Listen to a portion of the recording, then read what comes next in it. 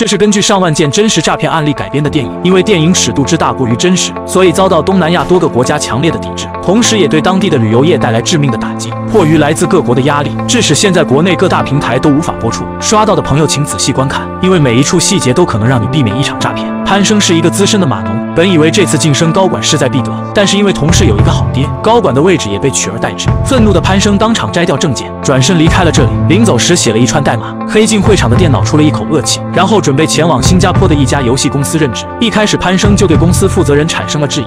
那个我自我介绍一下，我叫安俊才，新加坡人。然后我在公司已你不是湖南人吗？我确实在株洲出生的，但六岁就跟家人去新加坡了。我我我是长沙人，我以为我们是老乡。你怎么会知道我的事情？看下你手机就可以了。人才，对于潘生的质疑，阿才轻松化解，并利用转机等待时间，请大家看成人表演。这也让所有人坚信不疑。等到下飞机后，以办转机为由将所有人的护照收走，然后上了一辆大巴车，接着来到一条小巷。潘生正在给家里打电话报平安，其他人也都沉浸在香艳的景色里。可就在这时，几名打手拦住了去路，二话不说上来就是一顿暴打，接着戴上了黑色的头套。打完电话的潘生见势头不好，立刻撒丫子就跑，打手也跟着追了上来。当跑到一条小巷时，却被阿才打了一闷棍。潘生倒地后也被戴上了头套。我有两个手机啊，蓝神。几人的噩梦就此拉开了序幕。等摘掉头套时，潘生几人已经来到一个戒备森严的园区。诈骗头子客气地做了自我介绍。我姓陆，是这边的经理。之后呢，各位为我工作，谢谢配合。几人还没意识到事情的严重性，对着老陆就是破口大骂。不出意外，又是一顿毒打。老陆鸣枪制止，实则是让几人看清形势，接着松绑，开始第一波的洗脑。你们想要的东西啊，在外面老老实实工作肯定得不到，但在我这里可以，还很快。来啊，参观一下。在这里，诈骗有另外一个名字叫现金网，业务涉及之广泛，炒股、挖币、网游、电商、博彩等，并且团队分为八个小组，也正是祖师爷分的千门八将，分别是正体反托、烽火除谣。此书已被列为禁书，因为这是一种做局的手段，一旦入局，几乎没有破局的可能。即使能幡然醒悟，但也已经被宰得遍体鳞伤。更恐怖的是，这种做局手段从古沿用至今。不得不说，我已经被震惊到了。一个诈骗团伙竟然如此用心布局，违法不可取，但其用心钻研的精神绝对值得我们每一个人学习。每一个小组都有着紧密的联系，缺一不可。就在带领几人上楼参观时，一个试图逃跑的人正被严刑拷打。接着通过层层的门禁，来到整个诈骗组织的核心——美女荷官在线发牌。在这里，只有你想不到的，没有你玩不到的。清一色的美女荷官，还有成人陪聊的服务。更恐怖的是，诈骗团伙竟和上千名学生在一个园区挟天子以令诸侯，真是让人细思极恐。潘生被分到一个宿舍，准备休息时，一只老鼠突然钻了出来，吓得潘生坐在了地上，而旁边的男人因为逃跑失败，被关在了笼子里。这时阿才带人走了进来，拿出潘生的手机让其解锁后，用竹签放在眼睛上威胁道抱着你妈，跟他讲几句，这边很美，我跟同事玩得很开心。随后将笼子里的男人揪了出来，接着就是一顿毒打。等到第二天，潘生有了新的任务。爬虫会不会？爬虫相信大多数人都比较陌生。通俗的讲，大佬的直播间有上千台手机，但是不到一秒就被抢空。这不是你手速网速的问题，因为你的对手是一秒钟点击上千次的机器人，所以抢不到也不要灰心，多抢几次你会发现还是抢不到。言归正传，潘生拒绝为他们工作，直到耳朵被撕裂，这才坐在电脑的前面。随着代码的输入，上万条个人信息被复制下来。这时潘生撕下一个纸片，然后写上求救的信息，接着来到了卫生间，拿出纸片，天真的想从窗户将纸片扔到外面，可一不小心踩碎了便池，直接摔在了地上。声音惊动了正在上厕所的女孩，然后抢走掉在地上的纸片。看到上面的信息后，并没有揭发潘生，而是将纸片还给了他。女孩名叫安娜，来之前是小有名气的模特，因为别人盗用了她的照片，给公司带来不利的影响，被公司强制解约。后经过朋友介绍，接到了一个广告，但到现场后却发现是拍擦边写真。安娜一怒之下便离开了这里，但是违约在先，必须拿出三万块钱的违约金才能离开。好在闺蜜及时赶到，并出钱化解了这场危机。闺蜜又将她介绍到阿才这里，高额的报酬，轻松的工作，在绝对的诱惑面前，安娜坐上了前往边境的大巴。但她不知道的是，这一切都是闺蜜做的局。来到园区后，老陆拿走了他们的护照，并说到每人完成五百万的业绩才能拿回护照离开这里。没想到在第一次发牌时，安娜来了大姨妈，然后就在厕所碰见了潘生，两人还做了一个交易。我护照也被收了，说完成业绩才能回国。完成多少业绩啊？五百万，我帮你完成业绩，你帮我出去报警好吗？没等安娜答应，阿才找到了这里，潘生见状，立刻堵住房门。安娜说自己来了例假，阿才便离开这里，然后示意潘生先躲起来。可没想到，刚走出门就被阿才打了一巴掌，接着拿出一包卫生巾安慰安娜。这时，卫生间的开关突然爆开，阿才听到声音走了过来。躲在厕所的潘生将纸片撕碎扔进马桶，按下开关时却发现没有水。而此时，阿才正一间一间的搜索着，如果被发现纸片，肯定死路一条。于是潘生从马桶里捞起纸片，思索片刻后，直接塞进了嘴里。这时，阿才推开房门，发现了潘生，接着将他拖了出来。幸好处理及时，没有被阿才发现。这时来人通知阿才有大货上钩，在给了潘生一拳后离开了卫生间。富二代无意间点开了一条链接，美女荷官现场发牌，抱着试玩的心态点了进去，没想到接连赢了庄家几把，不知不觉中竟然玩了个通宵，并以自己博士的学历研究出新的玩法——背投法则。无论输掉多少，下一把双倍下注，十把只要赢上一把就会稳赚不赔。然而连输十把的概率也只有千分之一。阿天自信的以为这样的概率不会出现在自己的身上，但现实很快啪啪打脸。等到再次下注时，上天并没有对他有丝毫的眷顾，千分之一的概率如期而至。阿天虽不甘心，但也只能接受。然而面对上钩的大火，杀猪盘发起了猛攻。他洗白了，推贷款放内幕消息。潘生加上阿天的微信推贷款，并放出了内幕消息。刚贷出一百万，安娜就发来了消息：你这样一赔一很难赢大的。我朋友在论坛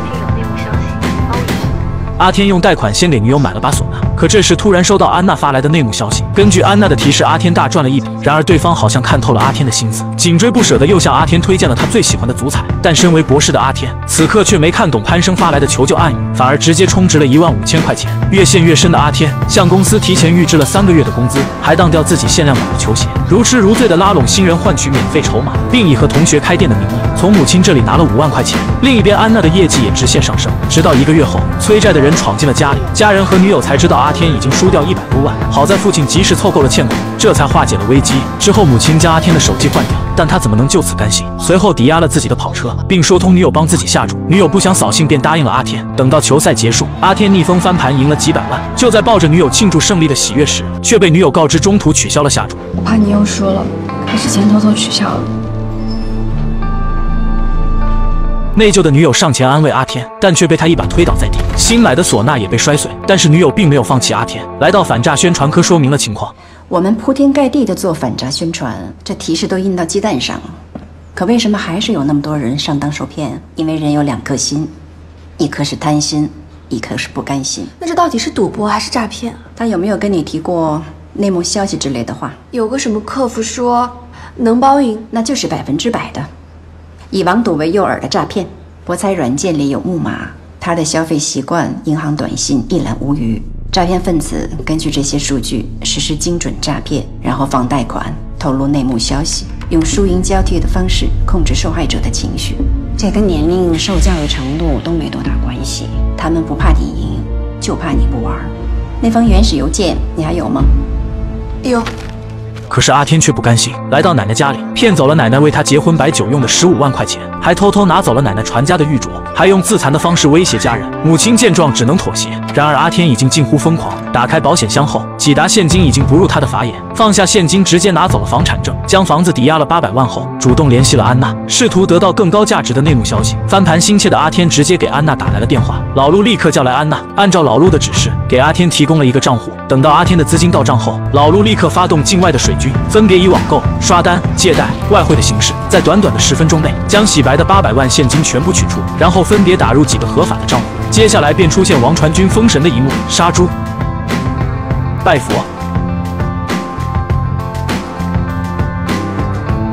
这时，阿天再次发送消息时，发现自己已经被对方拉黑。面对现实，阿天终于幡然醒悟，但也已经回不去了。此时，女友带着父母赶到这里，无颜面对家人的阿天锁上房门，从阳台一跃而下。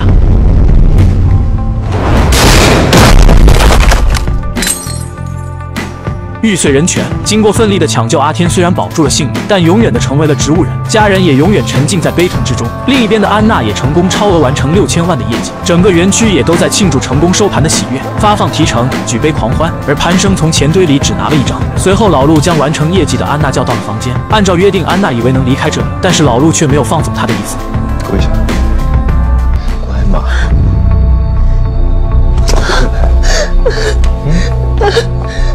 越想。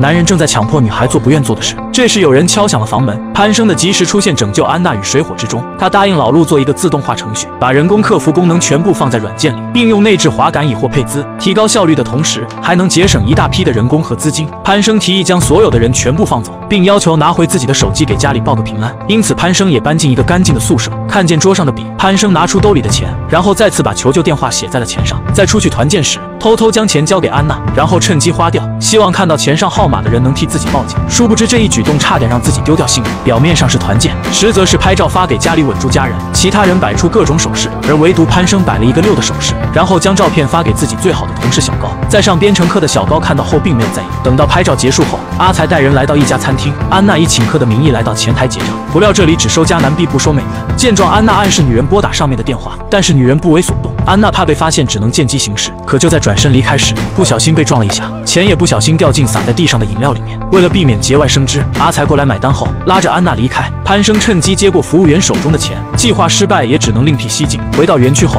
看到满地的钱，惊呆了众人。拿出来晒一下，不然都发霉了。有了潘生新研发的软件，老陆准备放走多余的人。就在与关在笼子里的男人告别时，潘生把钱偷偷的塞进男人的手里，将最后的希望寄托在他的身上。然而让潘生想不到的是，这些人并没有被放走，而是被老陆以三万一个的价格卖到了另一个园区。都是培训好的人，成本很高的，哪那么容易放啊？希望破灭的同时，也是噩梦的开始。就在大巴车离开园区时，阿才想买烟，却发现自己没有带钱，于是便开始搜身。不出意外的话，钱被阿才搜了出来。来到超市买了烟后，正准备离开时，却被店员叫住。Mister，这个冷水的，把那么看不。接着，男人就被遍体鳞伤的被拖了回来，然后审问钱的来源。细心的阿才闻到钱上饮料的味道，但他并没有揭发安娜。见事情败露，潘生和安娜同时主动站了出来，后果可想而知。安娜被牙签刺穿了指甲，而潘生则是被生生的敲断了腿。男人也没能逃脱被杀的厄运。接着，安娜也被卖到另一个园区。为了逃命，在转移时，安娜打开车窗直接跳了出去，接着一路逃到了当地的警局。不曾想，刚出虎口又入狼窝，警局早已和园区串通一气。当安娜看到桌上的筹码，顿时醒。可是已经为时已晚。随后，阿才来到了警局，将安娜绑起来带到了海边，接着装进麻袋，放进石头，然后扔进了海里。安娜以为这次肯定在劫难逃，不料一个渔船将她从海里钓了出来，解开麻袋，然后松绑。接着，阿才将护照扔到了船上，并对安娜做了一个手势。阿才为什么放走安娜却不得而知，或许是怜香惜玉，也或许是良心发现。拿到护照的安娜来到机场，成功回国。另一边，失去男友的小雨每天都活在愧疚当中。她对反诈中心的赵队说：“那天他赌球，让我帮他下注。”但是我偷偷取消了。他本来能赢好几百万的，赢了就能上岸了。关键进球前后几分钟都会锁定投注，后台调整赔，就算是赢了，博彩平台都不会兑现的。可是他提现成功过啊！提现的只是冻结的资金，二十四小时之后就会自动的返回原路径。